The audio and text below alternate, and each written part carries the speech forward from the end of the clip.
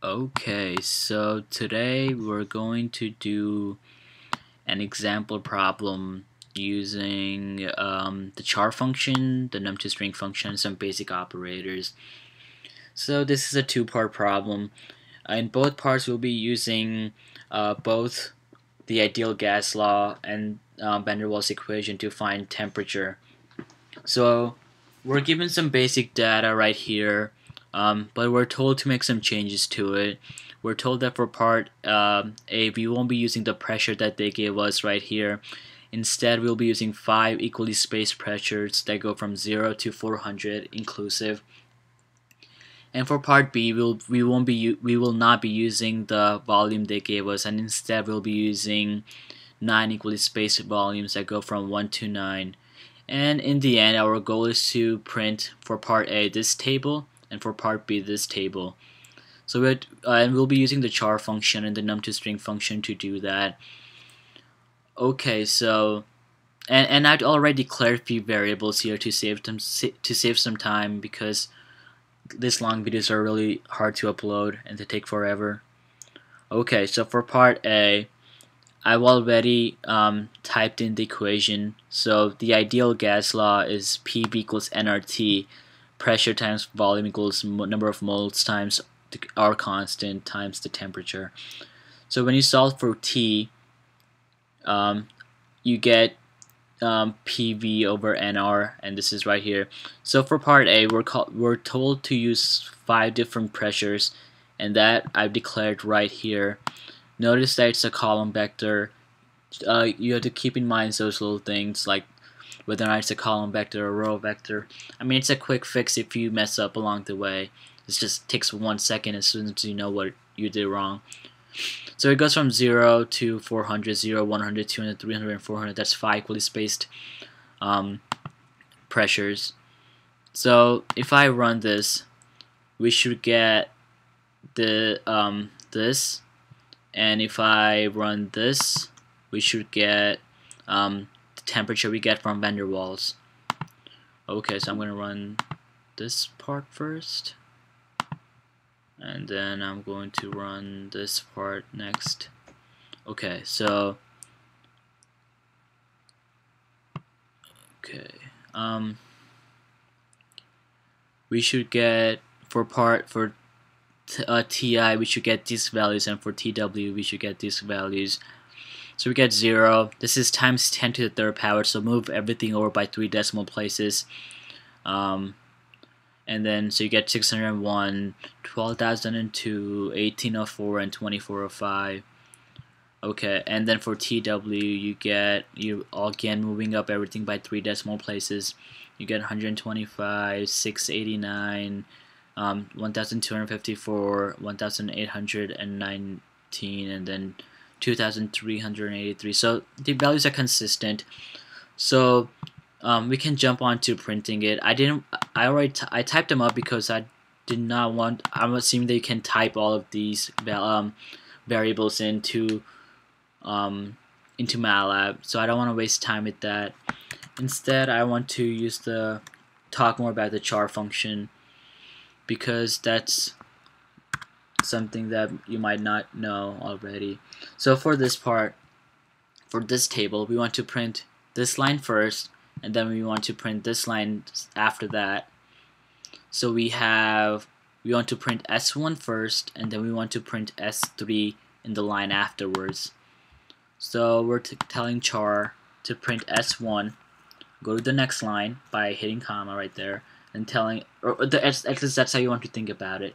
Um, and then print the next line. So print S3 and then go to the next line. And then we're going to print our table. So we're going to put everything into a string S4 so and then this is basically our table. So inside we're going to print. The first thing we want is the pressure.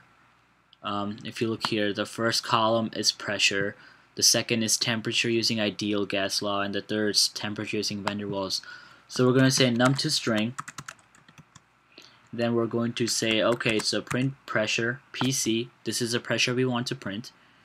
And then what you're going to do, we're told that we're using we're going up to two decimal places afterwards so what you're gonna say you're gonna say 12 I, I like to use 12 point something because it's something I use a lot. You don't you could use any other number here if you want. I think it goes up to 16 or so. You can use 16 I've seen 16 18 before. I don't think I've seen anything else uh, higher than that. But um, so you do 12.2 the number that this is what really matters the number of decimal places you want to print.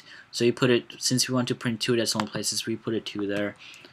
And then we want to print num to string we want to print the temperature using the ideal gas. So we want to print TI next.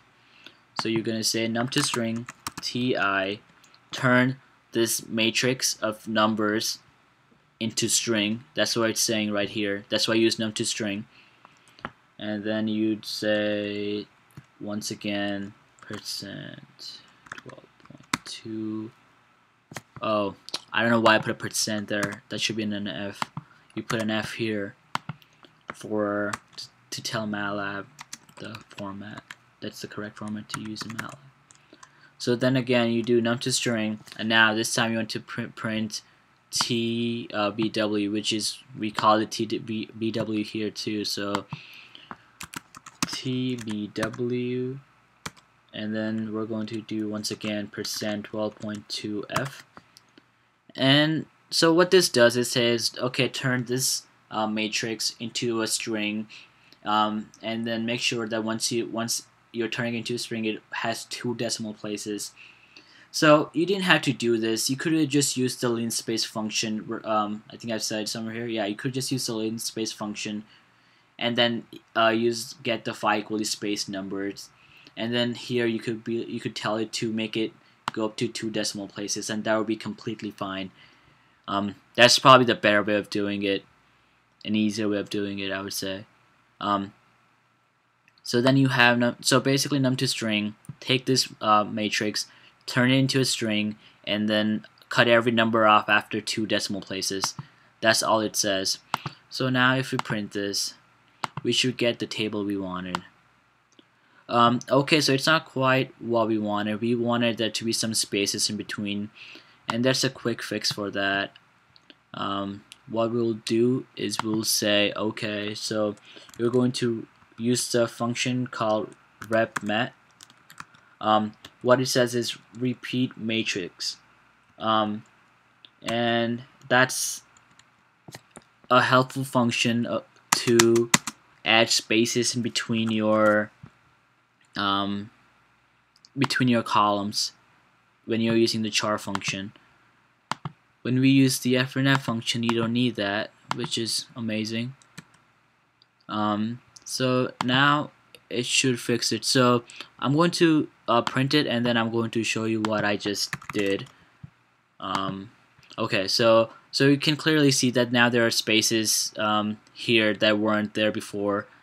Um, so what this function does is it says you take whatever's in this inside here and you make it into a 5 by 1 um, since we want 1, 2, 3, 4, 5 by 1 matrix it goes down by 5 so it says okay take this and make it into a 5 by 1 matrix so it just takes this space of uh, this string and then puts it here into a 5 by 1 matrix and here into a 5 by 1 matrix. It's a really helpful um, tool, I mean a, a, function, it's not a tool, it's a function um, that makes your life much easier. Um, I just I copied and pasted this right here then I used the dot function for part B. For part B we're using the same um, two functions, ideal gas law and the van der Waals equation, but this time instead of using different pressures, we're going to use this constant pressure and we're going to change our volumes. So we have nine equally spaced volumes that go from 1 through 9.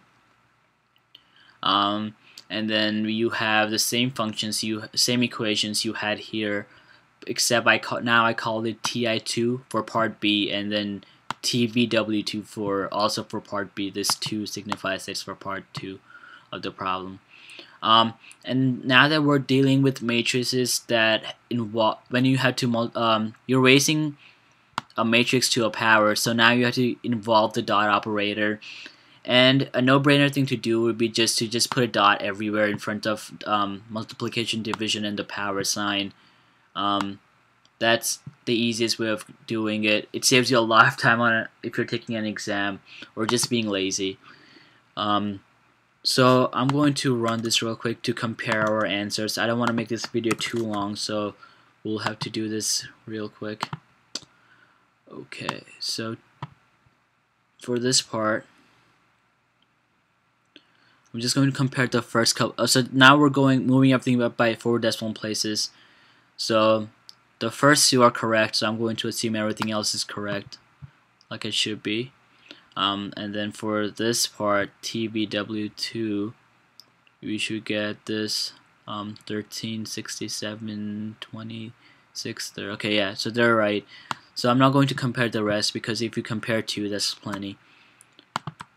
Um, now we're going to do the same thing. We're to, we're going to say char. Now we want to print this line, and then we want to print this line. So you have you want to print S2 and then print S3.